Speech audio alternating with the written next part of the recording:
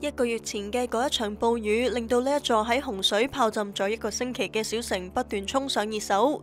从北京出发嚟到德州，空气开始变得浑浊，沿途有好多地方都喺度施紧工，街道两边仲有少量嘅积水同埋淤泥。根据河北保定公布嘅数据，截至八月五号嘅十二点，全市一百一十点六九万人受灾，累计报告有十个人因灾而死亡，十八个人失踪。此后，官方冇再公布相关嘅数据。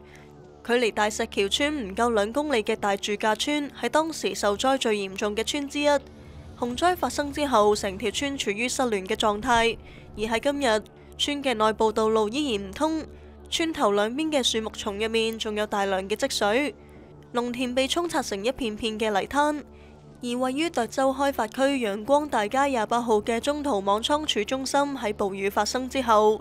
曾经多次冲上热搜，至今四百几万册被洪水浸泡过嘅书籍已经基本被清空。喺离地三米左右嘅书架上面，依然堆满咗完好嘅书籍；地面角落就堆放住仲未嚟得切清理、被淤泥包裹住嘅各类书籍。喺仓库外围，推土机将成堆已经冇咗书形嘅垃圾转移。